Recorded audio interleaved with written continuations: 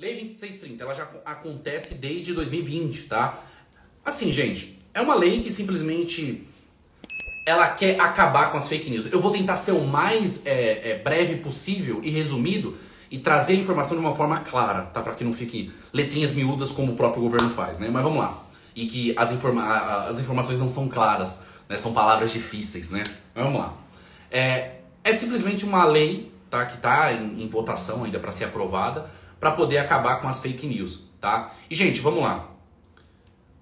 Isso, isso vocês vão entender como que isso casa com dropshipping, casa com anúncios online, casa com tudo isso. Vamos lá. Ó, o, a Ana comentou, Douglas, era essa postura que eu estava esperando, se posicionar sim faz parte, mas aqui não essa questão. Boa, boa, boa mesmo, Ana. Isso aí. Vamos lá, gente. Ela, ela, a lei, ela quer acabar com as fake news. E eu tenho certeza que vocês, eu, tá, a gente defende a mesma opinião que fake news realmente tem que acabar, tá? Ninguém aguenta mais fake news. Me, vou dar um exemplo meu aqui, tá? Tem vários perfis fakes meus. Não adianta nem vocês mandarem mensagem aqui para mim que eu sei. Eu sei. Pessoas maldosas que criam perfis com a minha foto, colocam fotos minhas, foto da minha família, seguem vocês e mandam mensagem para investir em, em criptomoeda, postam informações falsas, como se fosse eu. Isso entra dentro da categoria de fake news. E muito obrigado, muito obrigado. Eu vi que vocês falam aqui, eu sempre denuncio. Obrigado por denunciar, porque eu não consigo ter controle. Eu não consigo ter controle.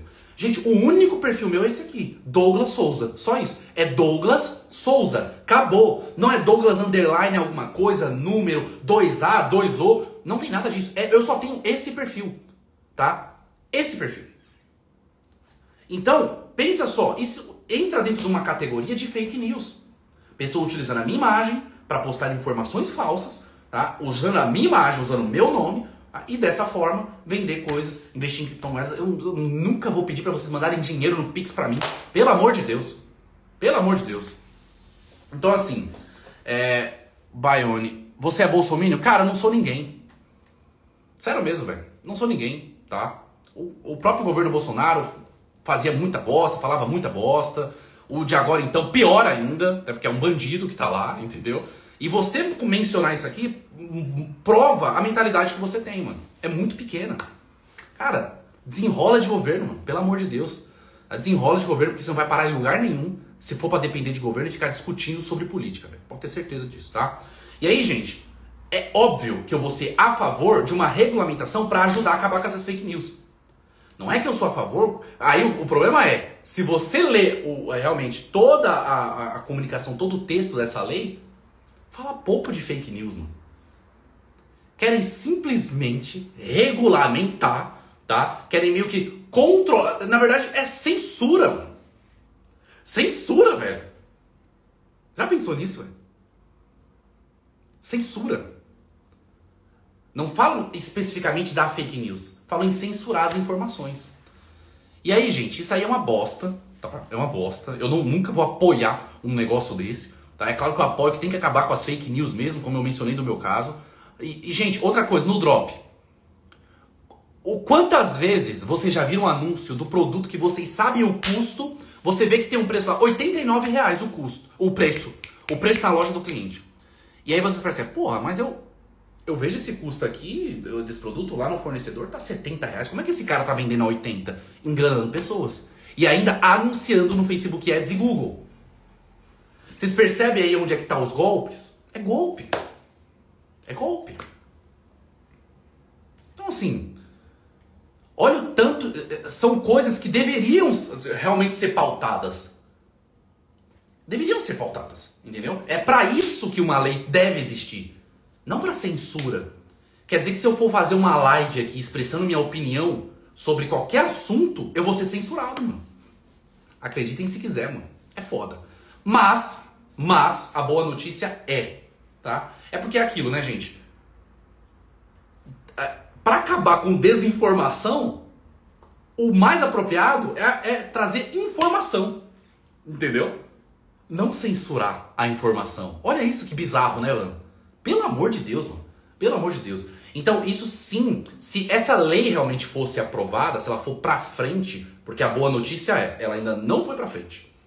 Ela ainda não foi pra frente. Tá? Gerou todo esse burburinho que ia ser aprovado, aí Justamente, guruzinhos tentação, os outros, as outras galera de outros mercados, vem aqui falar, ah, vai acabar com o dropship. Mas, gente, pelo amor de Deus, se isso fosse pra frente, ia prejudicar todo o mercado de anúncios online. Tá?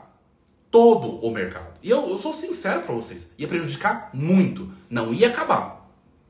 Quem fala que vai acabar, pelo amor de Deus, tem uma mentalidade assim, ó. Ó, pequenininha, desse jeito. Vendas na internet acabar, anúncios da internet acabar com grandes big techs como Google e Facebook no Brasil. Pelo amor de Deus, né? Mas ia rolar uma. Acredito que ficaria mais burocrático para anunciar. Cada vez mais seria mais. Para o iniciante seria muito ruim, porque você teria que ser extremamente profissional para de fato anunciar no Facebook Ads ou no Google Ads, tá? Então assim, se fosse para frente, que pelo jeito não foi, tá? Provavelmente vocês muito que tem aqui, quase 200 pessoas na live, provavelmente já viram informações que não foi para frente ainda essa lei. Ela não foi encerrada, tá? Não, não se enganem, ela não foi encerrada, tá? A gente ainda tem que esperar as cenas dos próximos capítulos. Primeiro, eh, eu acho que 2023 começou absurdamente doido, né? Teve essa questão da taxação, né? Que inclusive, gente, eu não estou tendo pedidos taxados e se for taxado, eu vou ser o primeiro a mostrar para vocês, tá? Que inclusive eu quero gravar a aula, tá? Eu quero gravar. Ó, o Alex até comentou, foi adiada a votação. Obrigado por complementar o conteúdo, tá, Alex? Ou seja, não foi ainda para frente, foi adiada a votação. É porque, Alex, vocês sabem, a internet vem para cima em peso, tá? A, a nossa única forma de voz é a internet, mano. Olha o que a internet se transformou, mano.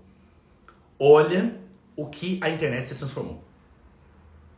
É, por isso que eu amo a internet, tá? Claro, tem muita coisa ruim na internet, mas a gente, nós mesmos conseguimos filtrar o que nós queremos aprender, o que nós queremos assistir, o que nós queremos consumir. Ó, a pressão foi grande, exato. Vocês lembram quando essa pressão aconteceu, quando queriam é, limitar a internet? E eu estou falando de limitação nas é, empresas né, que fornecem internet. Vocês lembram disso? Acho que isso foi em 2015. A internet toda se movimentou e isso não foi para frente. Vocês lembram disso? Que queriam limitar a internet, por exemplo, é, como se fosse pacote de dados no celular.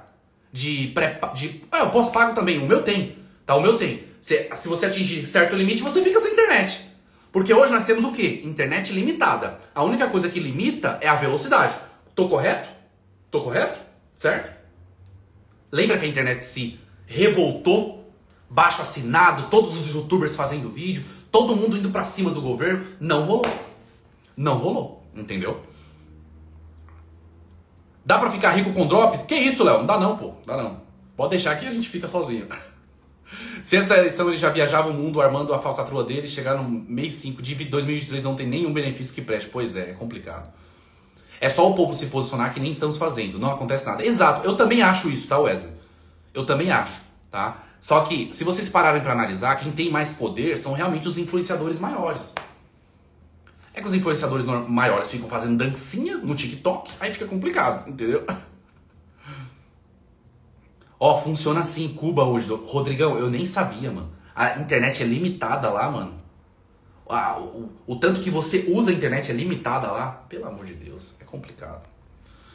Gente, é, deixando claro mais uma vez, tá? Tem quase 200 pessoas aqui na live. Eu não quero transformar o meu Instagram, o Douglas Souza, a pessoa Douglas Souza, para falar de política. Não é isso, tá? É que isso realmente tem impacto para nós anunciantes, tá? Para nós anunciantes. E vocês me pedem muito para ficar falando. Se eu solto uma caixinha de perguntas, meu direct, pelo amor de Deus, só dá nisso. Só dá nisso. Tá? Caixinha de pergunta só dá nisso. Então eu prefiro fazer uma live tá? expressar minha opinião aqui, tá? Pelo contrário, né, Douglas? É youtuber muito famoso apoiando o Nine. O Nine? Vai entender.